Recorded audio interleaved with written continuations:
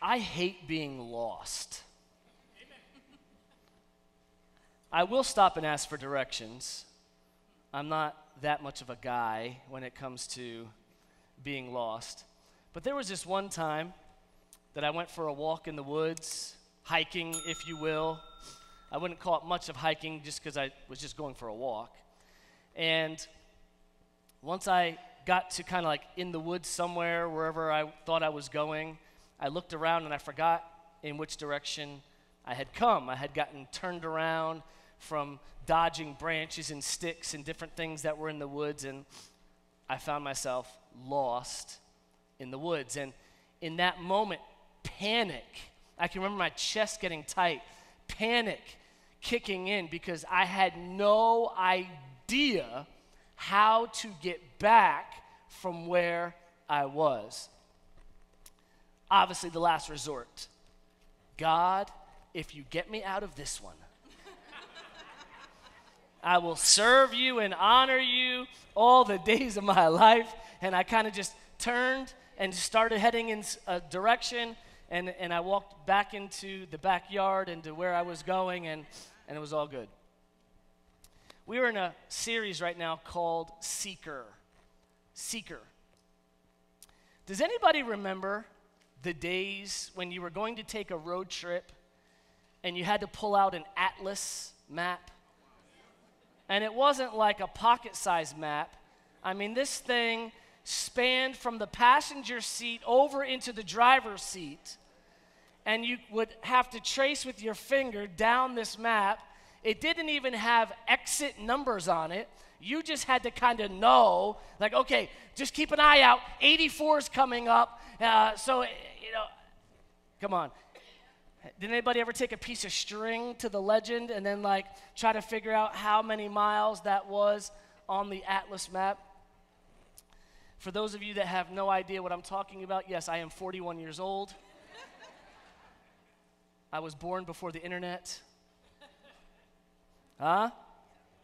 Born before cellular phones and before GPSs. My family traveled quite often for many different reasons. And my mom and dad were professionals at the Atlas map. In fact, it was family tradition before any trip. We'd pull the big map out, we'd put it, and it was broken up by state. So, I mean, this thing was thick too. And, and so uh, we'd have it on the kitchen table, and we'd all kind of trace with our finger what our route was going to be and how we were going to get to our destination. Anytime we needed to know where to turn, we had to pull out the map. Then the internet came along and something called Google Maps or MapQuest came about, Yahoo Maps. And you would go and you would put where you are, where you want to go, and you had to print out the directions and hope that they were correct. Because if not, you had all faith in it and you left the Atlas home and now you were just going to be totally lost. But in reality, nobody uses either one of those anymore. We now have stepped into the age of the GPS, the global positioning system. And if you didn't know by now, you carry one with you all the time. Somebody knows where you are every second, every day, every hour, every minute the global positioning system. The GPS project, believe it or not, started by the US Department of Defense in 1973. It was the first prototype spacecraft was launched then in 1978 and then they had a full constellation of satellites in outer space 24 satellites operational by 1993 i just like this kind of stuff. I'm sorry to get nerdy on you. Originally, GPS was limited to use only by the United States military, and civilian use was allowed in the 1980s following an executive order from President Ronald Reagan. In 2000, the US Conf- uh, Congress authorized the modernization efforts of something called the GPS 3, where they degraded it um, in a project called selective availability. And I'm, I'm not trying to get too nerdy, but this is just, it's, we're going to get somewhere with this, okay? And then President Bill Clinton discontinued that uh, later on as we move forward. What that did was the selective availability only allowed us to have about a 16 foot accuracy of our GPS. So, driving on the highway, getting information 16 feet late could mean missing your exit. The latest stage of accuracy enhanced, they created what's called the L5 band, is what we now uh, use. It's been deployed uh, since 2018. The L5 band GPS can be pinpoint accurate within 11 inches. 11.8 inches. So that's when it's find my phone, it will get you within 11 inches of where that phone is at. That's pretty accurate from something up in space telling you where it's at. We have become too dependent, in my opinion, on the GPS. No? You disagree? You love your GPS? We don't even read road signs anymore. Well, my GPS says go down this road, but the road is closed. It doesn't matter. The GPS said it. As, as the GPS has grown more mainstream, we've heard of accidents of people driving into lakes, people driving onto train tracks when there's a train there people going the wrong way on a one way street. It is estimated that the GPS has caused over 300,000 car accidents. So let's talk about that for a second. Let's talk about that for a second. We all love to blame the electronics, don't we?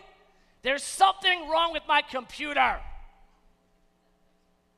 Now, can we be honest about something? And all the tech people are going to love this. If, if your job is technology, you're going to love this. Computers can only do what someone tells them to do. They can only input data and output data. They cannot do anything else. So, 99 times out of 100, when there's a problem with the computer, it's human error. It's human error. Okay? Do you remember the old saying? Maybe your parents said this to you. And especially if you're in New York, this is how the saying was said. If your friends told you to jump off the Brooklyn Bridge, now, somewhere else in America, they wouldn't say Brooklyn Bridge, but we all know that we were raised here and mom say, if they told you to jump off the Brooklyn Bridge, would you? Well, according to the studies, yes, we would. According to the GPS studies, if it told you to drive into a lake, guess what? Yes, I would drive into the lake. Okay? But we love blaming our electronics, and the real issue behind GPS accidents is, is not the GPS, but it's humans being humans. Humans being humans. We're talking about a GPS today. We're talking about seeking direction, finding our way. The number one human error of the GPS. You ready? This is point number one, and again, we will make this biblical soon. the number one error, ready, of the GPS is overconfidence in how smart your navigation system is or isn't. It's overconfidence. It's like the day that we downloaded the MapQuest directions with no backup plan. And you got down the road just to realize that the streets had changed, there was construction, and there was no detour options. Today, we don't need to remember any directions. In fact, we've dumbed things down so much that we don't remember phone numbers anymore. We've dumbed it down to where people could no longer remember the four digit PIN code that they put in their phone to open it. So now we have face recognition or fingerprint. I don't have to remember anymore, right? We've become overconfident in our electronics making decisions for us. And I'm about to upset some people because now I'm about to get it biblical. And you're about to get upset at me, some people in the room today and watching online. But I do believe that one of my callings in life is to call a spade a spade and to inform people of incorrect teaching. I, I don't teach topics just because they feel good. I don't teach topics just because that's what I was taught in Bible school. All right? I do not believe that we should feel, fill believers' minds or people's minds with false hopes. With false hopes. I do believe that this is a time in life where what we need to be preaching is hope. We need hope more than ever. But false hope will never be turned into actual hope. Misquoted scriptures will never turn into correct, correctly quoted blessings. Let me say that again. Misquoted scriptures will never be turned into correctly quoted blessings. So, my opinion many Christians fail to achieve the greatness that God has designed in their lives because they believe wrongly about God. They believe wrongly about God. Okay? Today's topic is this Final Destination. Final Destination, like the movie. Final Destination. Answering this question today where am I going in life? Where am I going in life? What's, what's the direction that I'm supposed to be going? What's my purpose?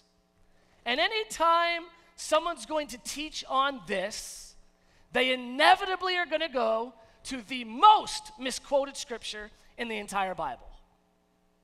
Want to, want to talk about it today? Jeremiah 29 11. We love this verse, and I'm serious. I poll the church and I ask people what's their favorite verse in the Bible, inevitably 50% of the church, Jeremiah 29 11. And I say, okay, quote Jeremiah 29 11. And they quote the NIV translation. Ready? Come on, you know it. For I know the plans I have for you, says the Lord. Plans to prosper and not to harm. Plans to give you a hope and a future. Here it is, right there. God's in control.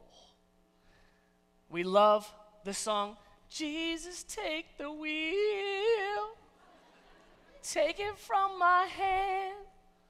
When's the last time you actually turned the wheel over to Jesus? No, what, what, what, what, what we're actually saying when we sing a song like that, no, Jesus, you take the wheel. You force it out of my hand, and you take it out, because I'm not going to actually give it. I'm not going to give you control of my life. But if you take it, then what am I? Then, you know. We, believers in church, put so much more on God than any responsibility on themselves. I did not drive my car into the lake, the GPS said it. Come on. We have to understand proper Bible interpretation. I, I, I know I'm going to ruff, ruffle feathers. I know my, my watch count probably just dropped by half online. we have to understand proper Bible interpretation. Not all translations of the Bible translated all words correctly. Okay? They're translations of the Hebrew language or the Greek language. So let's look at this Jeremiah 29 11 in the King James Version. Ready? And you tell me if this changes things. For I know the thoughts that I think towards you, saith the Lord, thoughts of peace and not of evil, to give you an expected end. Can you believe that that's even the same verse? But what about the plans? But what about the plans part? Because I don't have to plan if he planned. I don't have to do it if He did it. I don't have to know my future if He did it. I don't have to do anything if He's doing it. But He says, I just want you to know what I think about you. We have to understand in context that, that, that people were believing that God is this harsh, killing, destroying God. He says, Wait, I just want you to know how I feel about you. I'm so in love with you. I know the thoughts that I think towards you. They're not for evil, like some people think it is, but they're for good. I'm thinking about a hope and a future for you. I'm dreaming with you and for you. That's the context of this. But it's easier to believe that I don't do that I don't have to do anything about the plans for my life. I've seen Christians claim this exact verse for the reason that they have not completed the call of God in their life.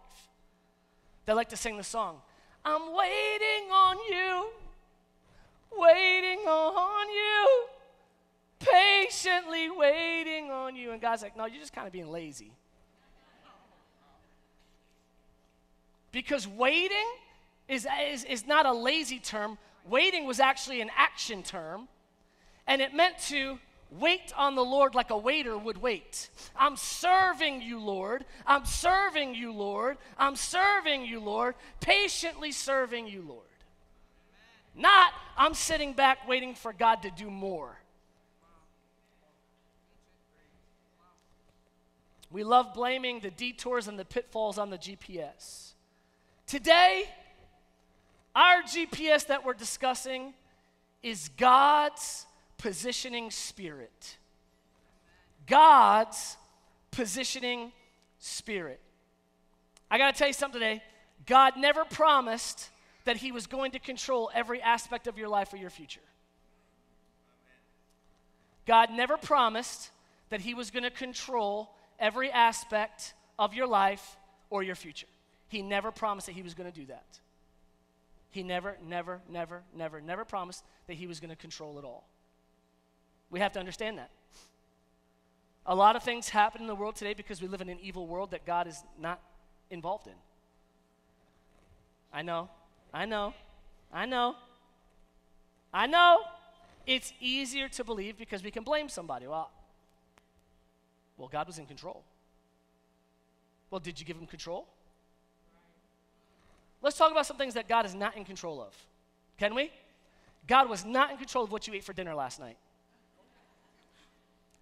God did not cook that. God did not cook that. God is not making you eat the third jelly donut from the box. the Holy Spirit may be telling you, you have diabetes, stop!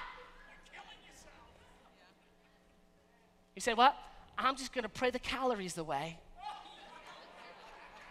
Mm. Ibaba, so. God is not in control of what you just bought on your credit card yesterday. That you didn't have the money to buy, but you just had to have it. God wasn't in control of that. But then we want to pray, God, get me out of debt but you never put him in control of the finances. Come, can, we, can we talk? God's only in control of your health if you put him in control of your health. Jesus, take the wheel. If you get your behind out of the driver's seat and put him in it. Come on, somebody. I'm just, hey, listen, I listen, listen. I know, I know I could get up here and lie to you. I could get up here and lie to you and it would feel a lot better. But this is why Christianity's not working. Because we're not taking responsibility for the life that we now live. It says that the life that we now live, we live by faith in the Son of God. But it means that we need to go do what God called us to do. All right. Here's what I know about my GPS, and this is where I'm going to step into some sticky stuff. Here's what I know about my GPS I cannot open my GPS and then say, Take me to my future. I can't do that. I cannot open up my GPS and say, Take me to happiness. Here's what I know about my GPS the only thing that my GPS can do is tell me where I am right now. That's all it does. It tells me where I am right now. So, in fact, the way a GPS works is this the GPS says, Where is your global positioning right now? And then it takes a map and it says, You're here and you want to go there. So now let me create another layer, a digital layer. Here's where you are. Now let me put a map underneath where you are and show you how to get there. My GPS is not smart enough to tell me where I want to go. I have to put the destination of where I want to go into my GPS. I have to choose that. If I want to go from here and drive to Florida, I have to put the Florida address in my GPS. It is not smart enough to say, oh, wait a second, you look like you need a vacation. Let me send you to Florida today. You thought you're going to work? Ha! Surprise! Taking you to Disney today. Can I ask you a question today? And, and this is maybe one of those deep questions that maybe you need to go home and think about. What do you want in life? What do you want in life? What do you want in your future? What, what is it that burns within you that you want to accomplish before the end of time? What is it that you want? And that might be a tough question. Because for those in here today and watching online that are highly codependent, you've never thought about that. You've lived your life for everybody else. Well, I have some dreams, but my spouse. I have some dreams, but my kids. I have some dreams, but my parents. Listen, I'm going to give you some tips today. What do you want in life? You only begin the journey with God's positioning spirit when you plug those coordinates into your system. You plug that into the system. You plug that into the system. I am choosing today to chase my dreams. Now the Holy Spirit comes along and says, I will empower you unto all good works. Too many of us are sitting back and blaming God for not doing anything in life. And, and there's going to be this harsh reality when we stand before the Lord. And, and we're all going to hear if, if, if we've accepted Jesus Christ, well done, thou good and faithful servant. But then we're going to go to this other place where he's going to say, What did you do with the life I entrusted you with? Well, I was waiting on you, waiting on you. So I don't know, did I? And God saying, Boy, I was waiting on you, waiting on you. Yeah, but I was waiting on you.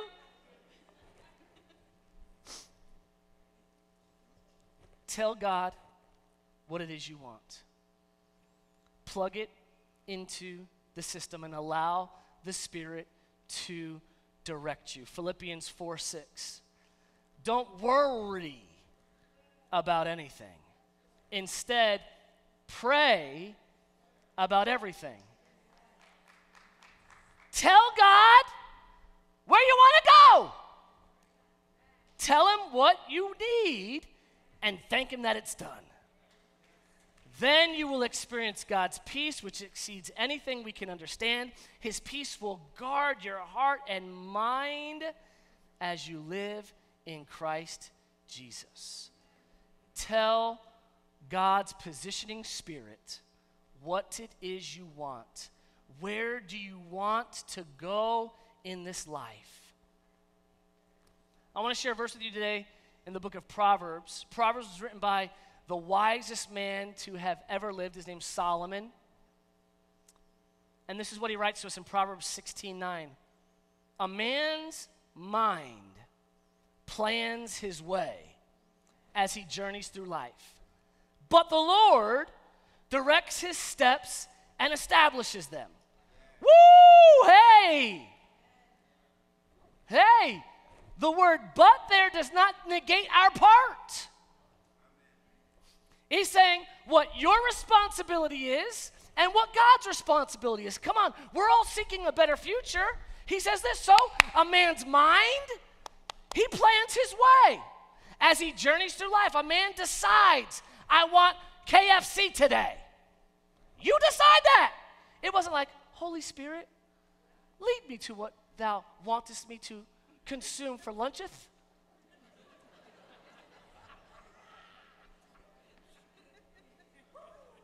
Come on, somebody. Is it Chinese or Italian? Which one, which one we having today for lunch?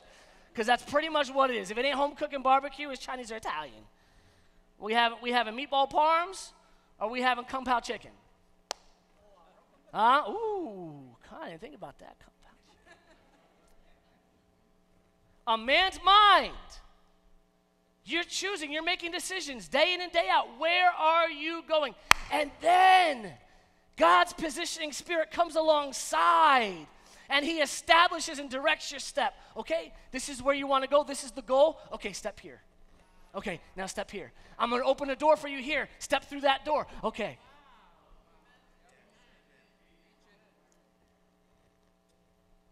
You create the where it is you want to go, and God will ensure that you get there. That's the walk of faith. Too many of us are sitting looking at the sky at night, waiting for a message to be painted in the clouds to tell us where to go. And God is saying, I want to make your dreams come true. Step one to seeking direction for your life is to have an idea of where you'd like to go. Well, I don't know. Well, let me ask you a few questions. What are you great at? What are you great at? And stop being insecure. Stop being insecure. What are you great at? What do you already do for a hobby? What do you do that you would love to do even if you didn't get paid for it? That's where we have to start.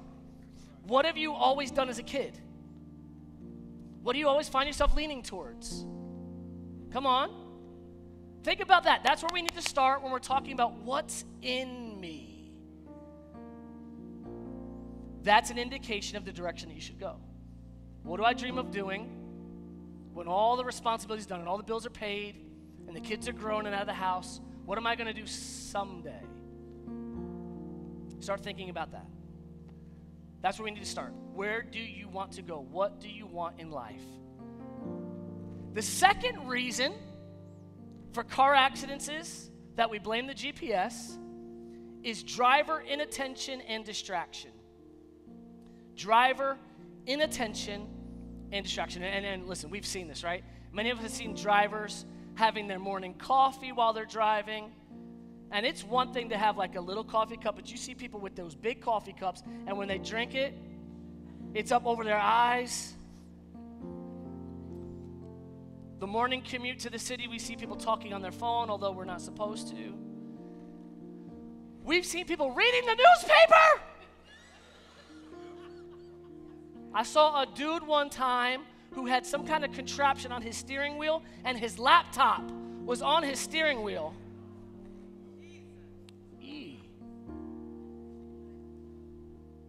Sure, it is hard to eliminate all distractions. Who isn't guilty of tuning into a better song while driving down the highway. Come on. Your favorite radio station is doing like a fundraiser, so you switch to another station while driving. We've all been guilty of it. But in a study conducted by the Network of Employers for Traffic Safety, spilling hot coffee and dropping something on the floor are the two most common driver distractions. But the National Highway Traffic Administration estimates that driver distraction plays a role in 25 to 30 percent of roughly 1.2 million car crashes each year. Driver distraction. Driver distraction. Can I ask you there, are you distracted? Are you distracted? Have you been distracted from the dream that you had in your heart from a child? Has COVID distracted you from running the race of life with all endurance? Has, has the circumstances of life distracted you from having a successful marriage? Are we driving this life distracted? Are you distracted by past failures? Are you distracted by hurts that are in your heart? Are you distracted by past attempts to do what you love only to find disappointment and more stress? The problem, therefore, has never been the GPS, but what our expectations are from the GPS. Come on, somebody. Hear me say this clearly God Almighty is absolutely in control of everything you give Him control of. Absolutely. As you surrender to Him, He steps in and leads you. As you surrender to Him, He will encourage you and lift you up. But the things that you still want to hold control of, He gave you a gift called free will. Let's close out today by looking at some uplifting Bible verses. Psalm 32, verse 8 I will instruct you and teach you in the way you should go. Come on, He's leading us in the way that we should go.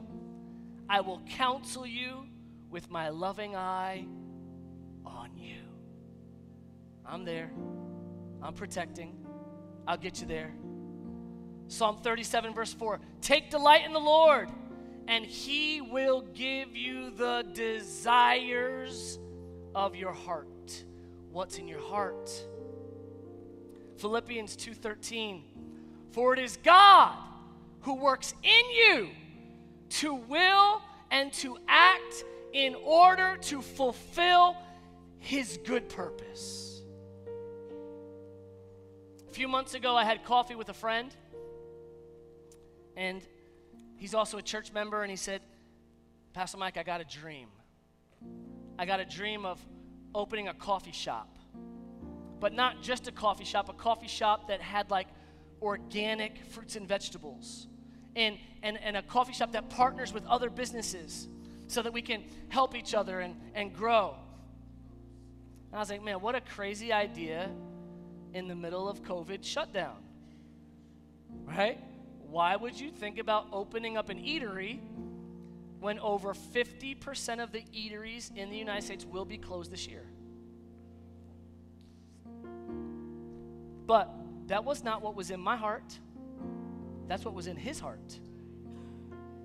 Well, he submitted that dream to the Lord, prayed about it, sought counsel, and took steps of faith. Not only was this gentleman able to open his business this week, he's been published in several newspapers and articles for his community involvement, his community work, and his connection with other businesses in the community. And watch, my friend submitted the destination of his dream to God's positioning spirit. God, this is what's within me. This is what I dream of. This is what I desire. And he followed the open doors that God created. Obviously, there have been times of ups and downs in that journey. There have been roads that he had been going down that he had to make turns because God's positioning spirit said, ah, we got to go this way with this. We got to go this way. But God was with him. This is how the spiritual GPS works. But it only works if you make the purchase. You got to buy the GPS. You got to buy the GPS. It does no good looking at someone else's spiritual positioning system. It does no good trying to build your own faith based upon the story that I just told you. You got to purchase a relationship with God for yourself. You've got to surrender to the Lord. He will download His Spirit within you that will lead you and guide you into all truth. And then you got to make a decision each day to follow it. To follow it. Tell me now, for those who have been believers for any length of time, you're driving down the road and for some reason you decided to go a different route to work, a way that you don't normally go.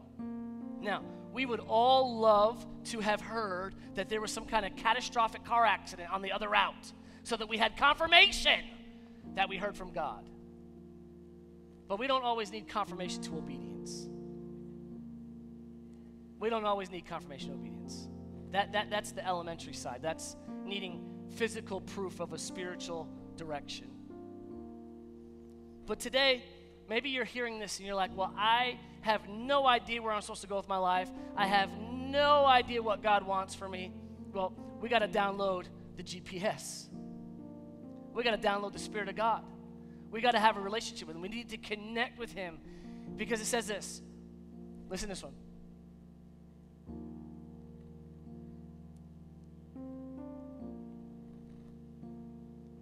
A little over seven years ago, I was in a bad spot. I wanted a son more than anything else. And we had lost a pregnancy that I believed was my son. And I was hurt, man. I was I was devastated. I was mad at God. I was mad at church people because they somehow felt like saying church things was going to make me somehow feel better. Maybe it's just not God's will. And I had a problem with that. I had a problem with some idiot telling me that it wasn't God's will. And then I had a problem with God because why wouldn't it be His will? So a little over seven years ago, I kind of had it out with God. I'm not, I, I don't have the thing I've dreamed of my whole life. I love my daughters. They bring me so much joy. I love spoiling them. I love it. But God, I, I want a boy that can be like me and wrestle me I leave my stuff to when I'm old. And I had a moment with God. I got away and I was letting Him have it because I wasn't fulfilling a dream in my life. And in this moment, He said to me, I have given you the desires of your heart. I said, No, you didn't. No, you didn't. I thought that we were having the desire of my heart, and then it was gone. No, you didn't. So I opened up the Bible and I looked at the verse, and he said to me, Read it again. I have given you the desires of your heart. And no, you didn't. No, you didn't give me the desire of my heart. So read it again. And it was probably about, I don't know, 150 times after I read it that my intelligence caught up to what God was trying to show me. He said, Look, I gave you the desire that's in your heart. I put that desire in your heart. I put that desire in your heart. I put that dream in your heart. This is what the verse was saying. He was saying, I put it there. Those dreams, those desires, those visions, those wants. One day I want to be this, one day I want to do this. I put those in you. And in that moment, understanding that it wasn't God who took something from me, but that there was an evil one who is in the world that steals, kills, and destroys. I was able to then surrender that dream again to the Lord and say, Holy Spirit, this is my dream. This is my want. This is my desire. Put it in your hands. And a little over seven years ago, we gave birth to my son. I tell you this today, not to, I, I don't know, I'm, I'm, I'm wanting to encourage you today. Don't stop on the dream. Don't stop on the dream. Don't, don't, don't blame God for not fulfilling your dream because you're waiting for Him to do something. He says, I'm waiting for you to take a step. I'm waiting for you to take a step of faith. I'm waiting for you to put the destination into the GPS and I will get you there. If you're here today and you've never made a commitment to Jesus Christ, you've never made him the Lord of your life, we'd like to pray a prayer with you today that you could download this spiritual GPS into your life. And here at Family Church, we want you to feel comfortable, so we all pray it with you out loud as well. And that prayer goes like this Dear God, I come to you just like I am. I believe that Jesus Christ is my Lord and my Savior. Jesus, I invite you into my life to change me and to make me new. Thank you for accepting me. In Jesus' name, amen. Amen.